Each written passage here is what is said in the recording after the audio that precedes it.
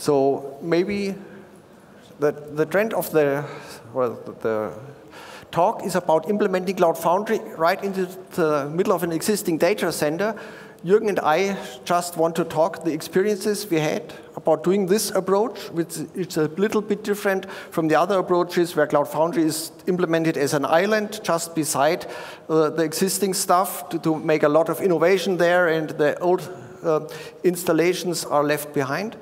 Um, maybe we introduce ourselves very shortly. My name is Andreas Landenberger. I worked more than 20 years for IBM before I joined Datev in 2009. Since, since then, I'm working on developing our platforms at Datev, and my mission is to build a very good platform for our future applications and to make this future-proof. Yeah, welcome everybody from me. My name is Jürgen Sussner. I work for Datev for about 12 years now. I was once a Java JE developer. I was five years a WebSphere admin, and for two and a half years, I'm building together with Andreas the Datev Cloud platform right in the middle of the Datev data center. Okay, maybe first it makes sense that we introduce Datev to you. Datev is a cooperative. Uh, the main reason for founding Datev is in the quote here below. The idea was to tackle as a group what each of us would not have managed on their own. This is the mission of our founder, and this is very important for all we do at Datev. So we are there to, for, for, the uh, benefits of our, the members of Datev. We are not a company which is making a lot of money for shareholders. We are, are supporting our members. And this is also something which goes right down to the decisions we sometimes make at Datev. Um, these long-term investments we see at Datev um, sometimes help us a lot because we are not driven by quarters, but sometimes they also hinder us because we as Datev as a company always have to be very careful not to get into economic um, uh, interests together with our members, to collide with their interests. At end users, for our applications, we do not only have the, the members, but we also have a lot of clients of the Datev members, more than 100,000 small and medium-sized companies at Germany are collaborating over the Datev data center with their tax advisor and their lawyers. So this is very important for the business we are running. So the, the Datev data center is the collaboration platform for these things. Now, if we talk about the Datev data center, what are, is the main information here? On the one hand side, the Datev data center, we have mainframes, we have uh, AIX systems, Unix systems, big ones, and we have thousands of Windows and Linux servers. Uh, all of this is spread out over three data centers we have in Nuremberg in Germany. And these three data centers are coupled via fiber channels. Uh, from the business side of view, uh, this platform is used, uh, for example, to generate more than 30 million payslips each month and to process all the payments of this. Uh, it is used to store more than 750 electronically stored documents which are exchanged between the clients of the tax advisors, for example, and the tax advisor so that the tax advisor can do the booking on it. And this data center also does all the electronic processing between um, a tax advisor or a small and medium-sized company and all the uh, revenue um, institutes in Germany to determine state to pay taxes, all the social insurance companies and so on. So there's a lot of data processing there. Now, why do we need a Datev such a cloud platform? What is the driver behind this? First, let's take a look backwards. How are applications at Datev being developed? In the old days, we had a developer here who was, uh, who was isolated from the internet. So in an air-gapped network, they had no direct access to the internet, and they used Artifactory to uh, get in some packages they need to develop. The developer built his application using Git, deployed it via Jenkins on the development stage. To do this, he had to get into contact with the administrator of the development stage because here we had a, also a barrier between development and operations. The typical scenario we, we see in many customers. If you want to get further, he had to use Datev proprietary tool to deploy it on the QA stage and also to production. In all these steps, the administrator was always involved. So had, the administrator had to allocate uh, JE data sources and all these things. You know, there was a lot of emails going back and forth and deployment things and so on. Uh, now, uh, what drove us that we said we need cloud technology at Datev? Uh, the point is that the developer productivity is one important thing. We wanted the developers to be more productive. The, the, we want to get rid of all this communication going on. Uh, the other point was uh, we wanted to build self-sufficient teams, which meant a lot of uh, isolation also into the cloud platform. We wanted that, that, development team A could not interfere with development team B. Uh, we wanted to give the developers self-services and simple st process steps and full access also in development, QS, and production of their applications. And if you look into the future, even now, going ahead, the point is that we wanted to have a platform which could be used as a base for Datev ecosystem, where partners of Datev would be able to implement their platforms also on. Now, is this enough to think about a platform and to choose a platform? In our opinion, this is not enough. Uh, we, in 2016, we evaluated uh, platforms like the Docker ecosystem, we evaluated OpenShift and, and, looked at Azure as a precursor of Azure Stack and so on. And finally, we said we have a set of criteria. Each of the platforms have to fulfill when we build it at Datev. The first thing is the platform has to be widely adopted. We do not want to only uh, put our efforts into the platform of one provider. The second thing is uh, we want to have the platform to be polyglot, which means uh, the platform has to not only support the latest Java stuff, we want to have support for languages like, for PHP and so on, but also for uh, the point of to run Windows 16 applications. This is very important for us because Datev has a long history and a lot of applications and business logic and developers which come from the Windows area. We have a lot of desktop applications and we want the possibility to take this intelligence and logic to bring it to run onto our platform. And the second important point was you had to be running a data center, private data center, air gap. For Datev, due to the sensitivity of the data we are processing, it's no option to go to public clouds. And after evaluating all these points and making tests on various systems and various implementations, we ended up using Cloud Foundry for this. Okay, now Jürgen will take over and guide you what we did to make Cloud Foundry happen in our own air-gapped data center. Thanks. We first a talk. I will do the fun part now, the technical stuff. Um, well, as we mentioned, security is really important for Datev. And the first thing we have to consider about the cloud platform is how to separate different workloads within a cloud platform. To illustrate that, I will highlight what are the different types of workload we have. We have this, this public workload. You don't have to authenticate for, you get information from a Datev website. This is public workload everyone can access. You have medium secure workload, we call it. It's the type of workload uh, which a, a Datev shop, some Beispiel offers, uh, for example, offers. If you have, if you would uh, shop for material, for products, and all that stuff. And we have that high sensitive data the customer gave us through the payroll processing to do the invoices and all that stuff. And the first challenge was to separate these workloads. And the solution was it as isolation segments. We heavily use isolation segments in Cloud Foundry to separate these types of workload so that an, that an application that do, does payroll processing never gets the possibility because it's network uh, technically segmented and separated from the other one. We don't mix and match public and secure application on the same Diego cell. But self-service and isolation segment well, it does not match because if you want to assign an isolation segment, you have to have admin privileges. And we solved this by creating a service in the marketplace. We predefined four isolation segments in the platform, and we created a self-service marketplace service where the developer can book such an isolation segment. This service takes care about assigning all the placement tags and everything that, that is necessary. And if the developer pushes an application to that space flagged with such a service, the application gets delivered in the correct isolation segment. That was one of the challenges we're facing.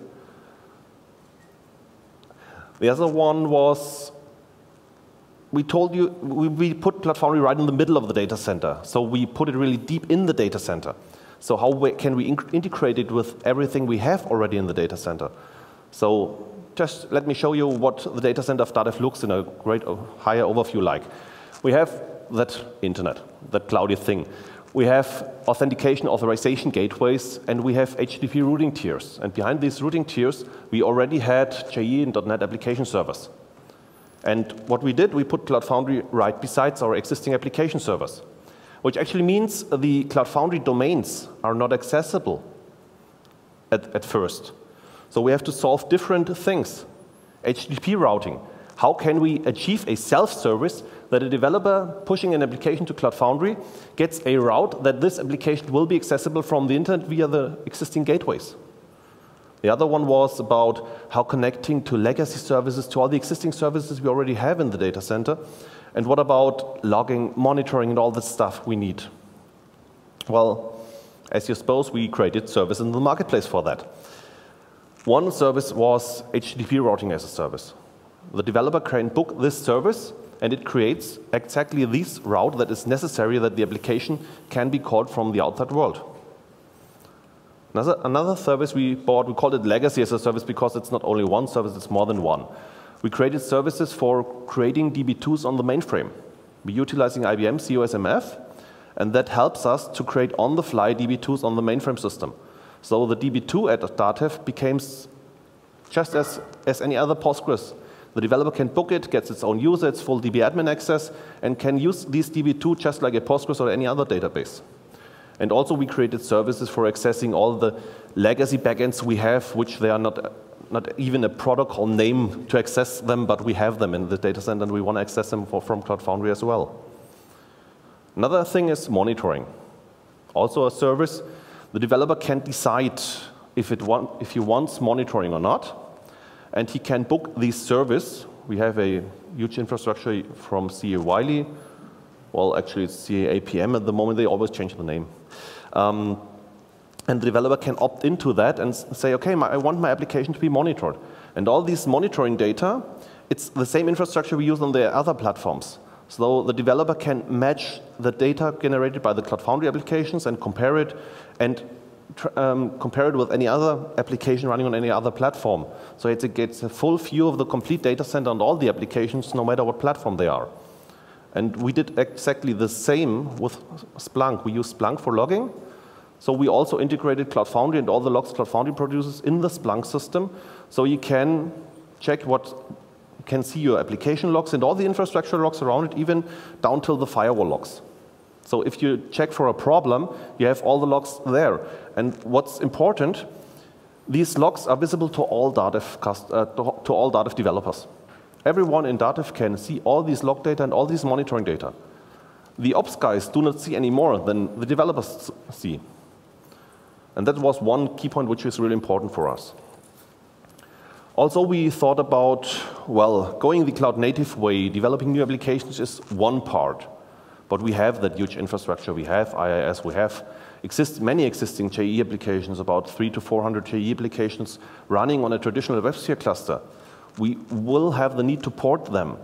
But these applications are created and they rely on specific things like naming conventions, like files in the file system which exists. They write logs in the file system because we told the developers always, don't use standard out. You have 20 applications on one application server. If you use standard out, no, more, no one will know which logs are from which process.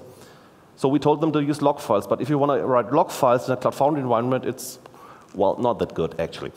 Um, so we created a build pack. We created our own build pack. And this build pack helps us to fill this gap.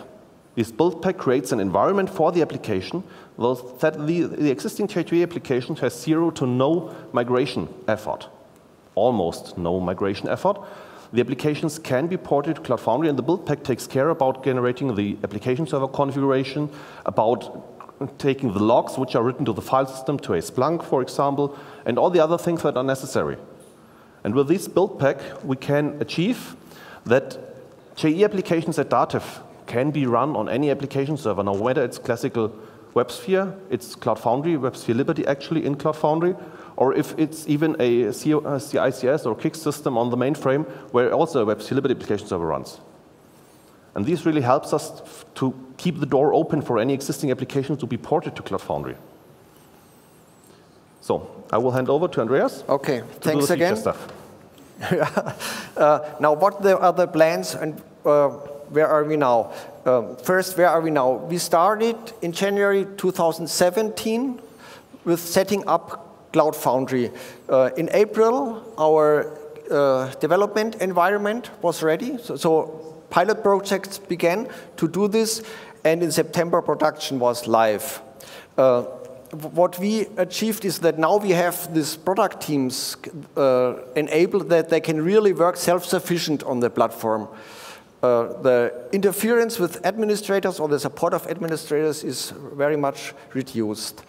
Uh, on the other hand side, we not only have now JE as application, but also we now uh, go into the direction of Spring Boot uh, and so on, and we support Windows, and we even have now a colleague who has written his application in Go.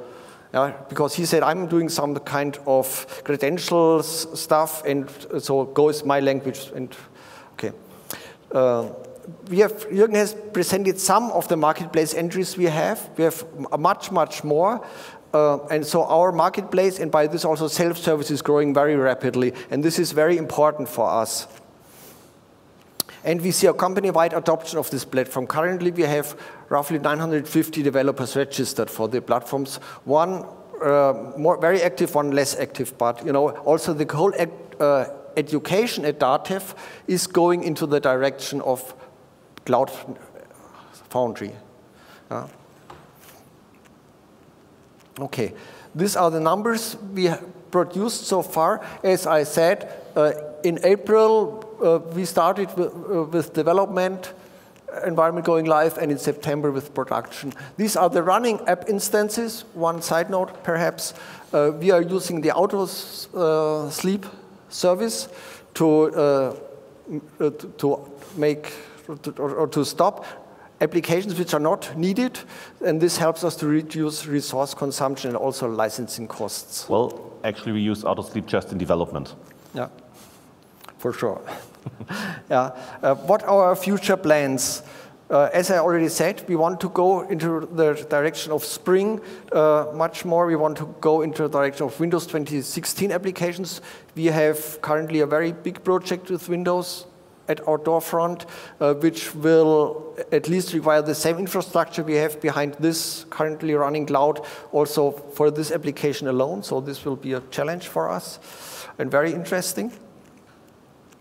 Uh, on the other hand side, for the platform, we want to go into the direction of Kubernetes container runtime because uh, we see from the business the, the, demand on the one hand side to buy off-the-shelf products and to run it in our data center. And this uh, will be delivered as Docker containers, so we make to have them integrated into our platform. Uh, on the other hand side, we want to have databases be provisioned as Docker containers we want to have uh, container networking running, and this is not only for performance, but this is also for security reason, because container networking gives us the opportunity to only uh, make the really needed applications and services externally accessible, and the rest can be hidden.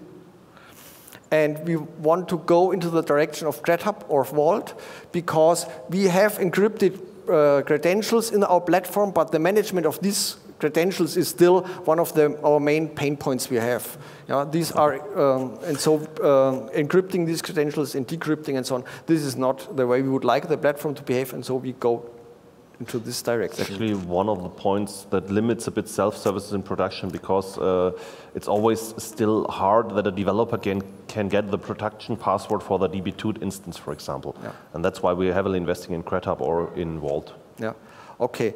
Uh, what is our general vision we are following? Uh, it's platform as a product. We, I've heard this term at this conference more than once, and it's it's good. So, so we are not the only ones thinking into this direction, uh, and it's uh, based on a article or blog post by Engineer Better. The guys have a booth up there already. So uh, they posted it under Post DevOps. I will have the link in it there. And this thinking has influenced also what we want to do. We want, on the one hand side, we want a platform team, which is platform DevOps, development and operations in the platform. And so this is very important. This also goes hand in hand with the Google site reliability engineering thinking. You only have, you do not only have operations people in the platform, you also have a lot of development there to make more self-services, to automate it even better. Uh, and this platform team defines a platform contract, for example, by the implementation of self-services. And based on this platform contract, all of these application development teams and operation teams, application DevOps teams, they implement their application. So we still have a very clean separation of concerns. The application DevOps teams can run their applications and implement them, but uh, they have a solid platform below them so they can concentrate on the application. This is the focus we have there. Uh, okay, this is the promised link to the colleagues from Engineer Better. Okay, what are the lessons we learned? Is it advisable to deploy PaaS as an island? No. In our experience, it's very good to implement it into the existing world because, you know, if you're building a serious application, sooner or later you have to talk to the other systems. And implementing PaaS also into the existing world, in my opinion, is also very good to take the people who are building or running their already existing systems, take them with you. So there is no other guys doing something in a corner of their company. No, it's all people are involved to bring this platform ahead, and this is important for us. The thinking of post-DevOps, as I already said, is important. Uh, to have this clean separation, but to be honest, we have application DevOps teams now knocking at the door of the platform DevOps team and saying, hey, guys, you have uh, such a knowledge about these technologies and so on. Could you please help us? So one of the things we are now thinking about is implementing uh, um, application support service or having the opportunity for the application DevOps teams that they can book a premium support by the platform teams. So even there, the boundary will now get a little bit open. Cloud Foundry, in our experience, is much about people's mind. It's not only technology. It, it, breaks a lot of barriers down within the company. So if you run such a platform, you have to interact with most of the departments in your company. This is very important for us.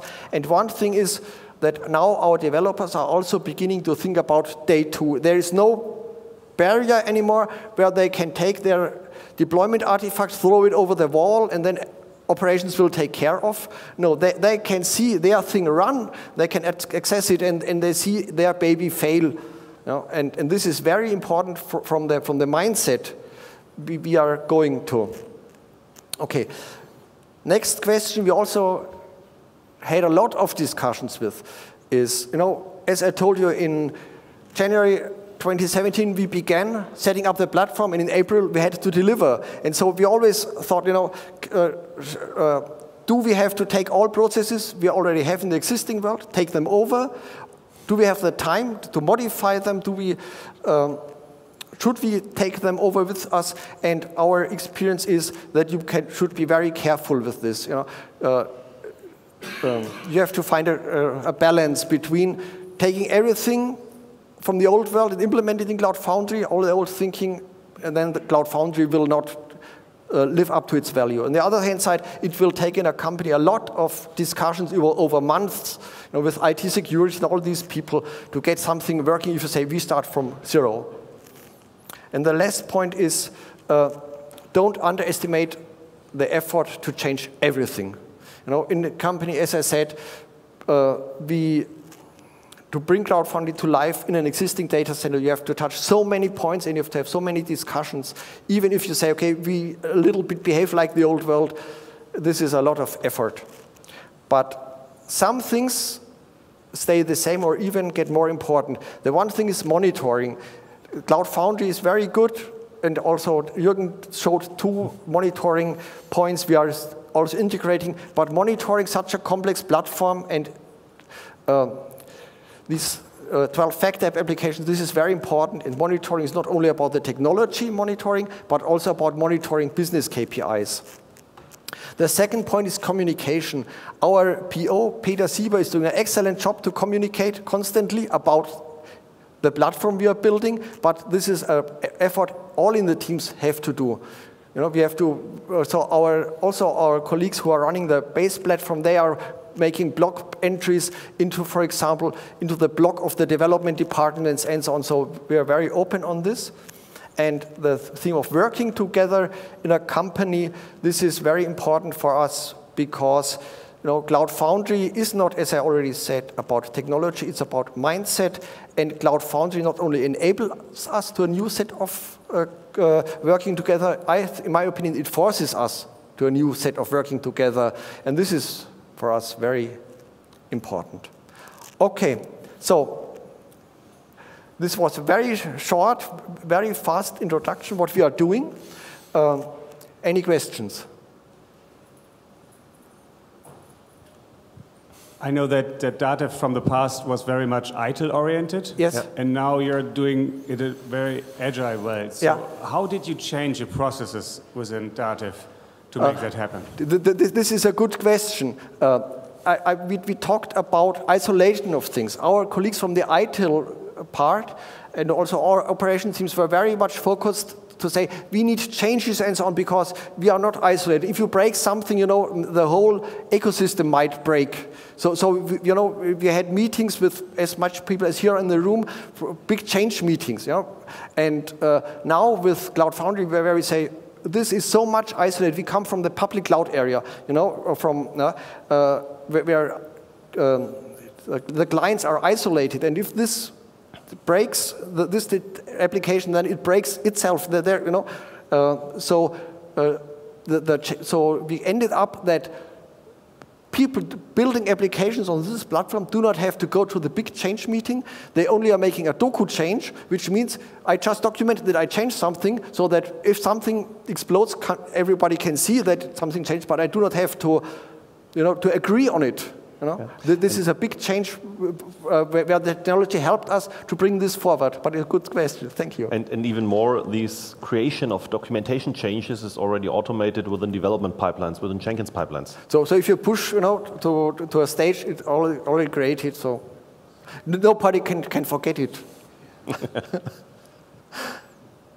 is uh, that build pack, the gateway drug build pack, Mm -hmm. um, is that available for others? Have you considered contributing to open source? Yeah, we, we, we have this discussion in Datev internally, uh, uh, and you know, uh, we have to, how do you say, we have to clarify this with our legal department, how much we are allowed to contribute to the, to the open source, because in, in our opinion, at least of Jürgen and mine, we mm. should contribute it. Yeah. Because you know, we, you cannot always take from a community, you have to, to, to give back something.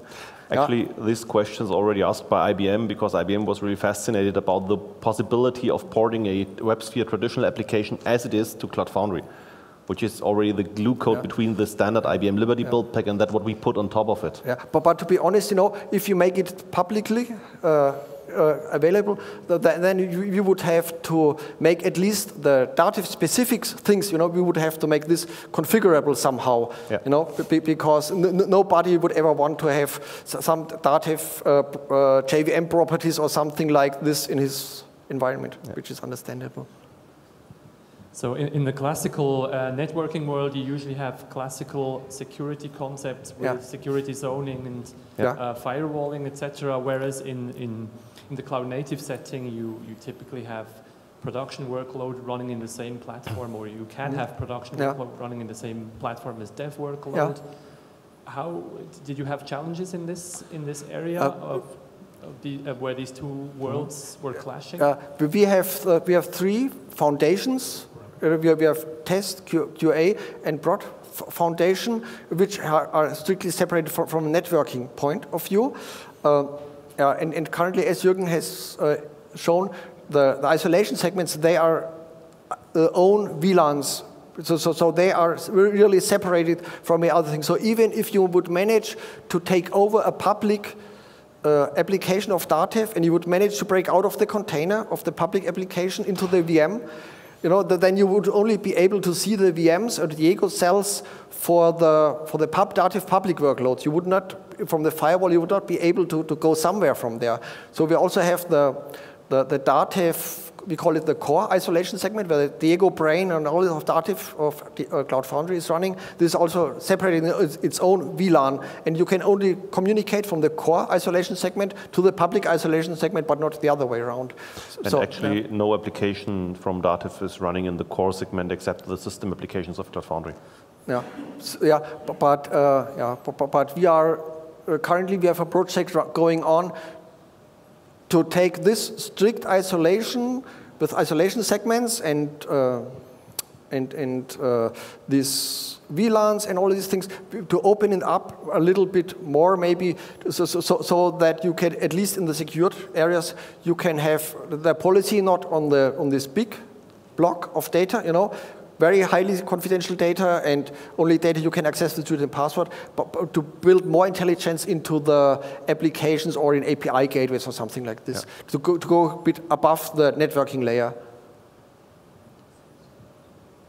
Okay, um, I know data from my history a little bit more before well, and um, I have, what I understand is um, that you're running Cloud Foundry for your data center mm -hmm. computing processes, which yeah. means um, your own shops and the processes of the our customer which sends the data to the uh, data center. Mm. Um, but I think um, the main development, software development of data was in the past on .c and was introduced to .NET framework mm. with the Datev yeah. workspace. Yeah.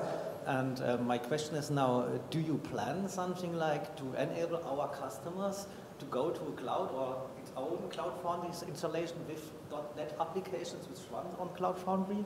Is this planned something? Uh, because that's the main software development yeah. or core of your yeah, um, of well, shifter. if you have a reminder, the keynote this morning, there was this shape of JVE.NET and that, that really left shifted white box.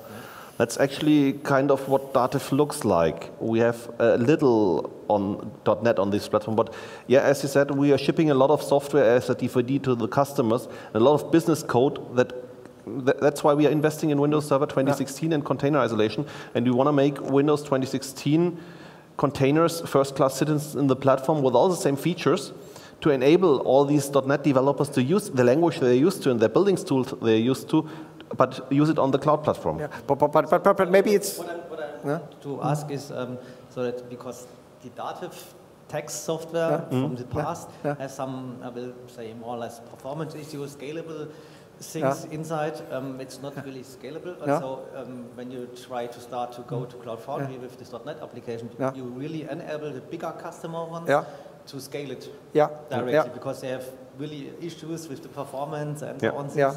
And is, is, is there, uh, exists there plans?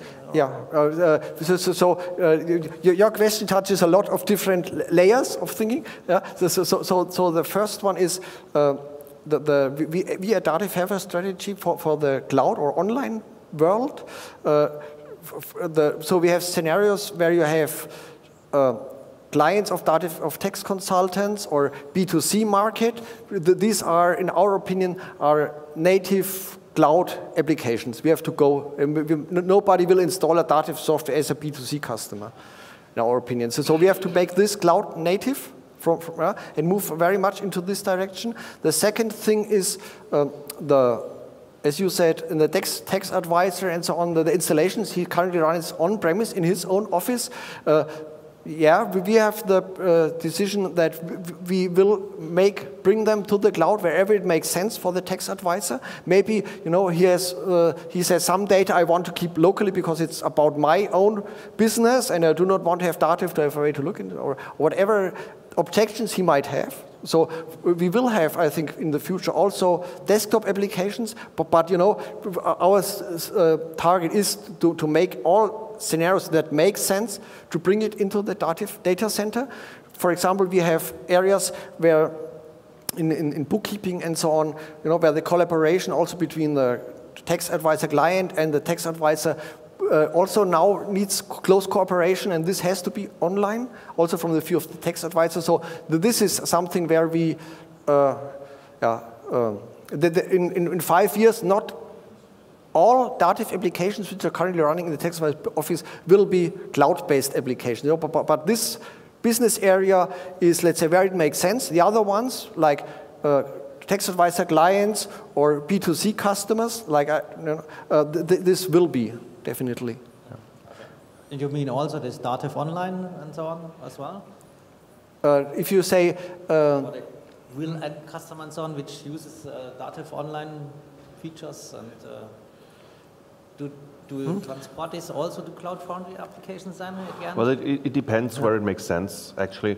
Um, we are not here with Cloud Foundry to, to abandon any other platform we have in the data center as long as it makes sense to port it to Cloud Foundry, we will do so. But if it does not make sense or if, if we don't have yeah. the time to do it, yeah. the other platforms are just fine as well. They are also first-class citizens in the data center, so the developer can finally decide which platform he would so, use. So, so, so when you up. say uh, Datev Online, you mean Datev Unternehmen Online, for example? Yes. Yeah. So, so, so, also there, you know, uh, we will not, uh, we do not have a date to say Datev Unternehmen will be moved to Cloud Foundry at the 21st of something. You know? But, but, but uh, there, as, as we've shown you, uh, due to the close cooperation between the platforms, you know, the, also these colleagues are saying, I'm now beginning something new and I will start, you know, there. And, and, and we have to, yeah. So, okay. Okay. Since, since we're already over time, um, if you have any further questions, we are here at the conference all day, uh, or feel free to contact us whenever you want. We are happy to answer any questions. Okay. Thank you.